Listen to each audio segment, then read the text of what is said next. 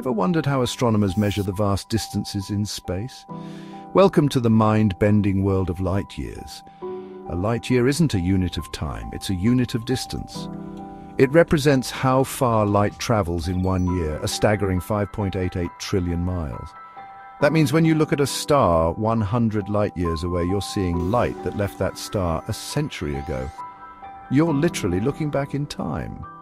The farther we peer into space, the deeper we see into the universe's past. Some of the galaxies captured by the James Webb Space Telescope are more than 13 billion light years away, meaning we're seeing them as they were when the universe was in its infancy. But even closer objects are mind-blowing. Our nearest star, Proxima Centauri, is 4.24 light-years away. If we sent a spacecraft there using today's fastest technology, it would take thousands of years to reach it.